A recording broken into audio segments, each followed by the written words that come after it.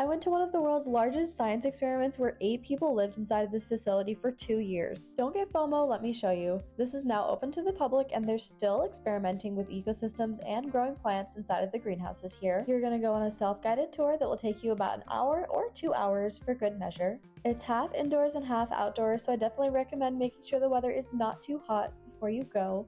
You're also going to do a decent amount of walking, but no hiking or anything of that sort. Your self guided tour on your phone will play a video explaining as you go, or you can read the informational posters while you walk by. This research center is operated by the University of Arizona. Adult tickets are $27 each, by the way. We first went into the closed area that the humans actually lived. Here's their kitchen, their staircase, their living room, and of course, they're surrounded by gardens. They relied only on growing their own food. I can't believe eight people actually lived here for two whole years. That's insane to me. However, the experiment concluded because the biosphere did prove that people can live in there in a closed environment and growing their own food, but only for a certain amount of time because the crew that was living inside of here got malnourished and they had conflicts with one another. They didn't have enough protein and they had to pump oxygen in from the outside. Since then, they shifted their focus to study the ecosystems and plants. This is actually the coolest part because they were able to recreate ecosystems like a rainforest, the savanna, the desert, with the air inside actually feeling like it and the type of plants from each environment actually thriving here. One moment it felt like I was in the Amazon and then another in the Caribbean. It was crazy. Take a look at this ocean that they simulated. This is one of the coolest ones of all. The air temperature and humidity all varied based on what experimental greenhouse you're in.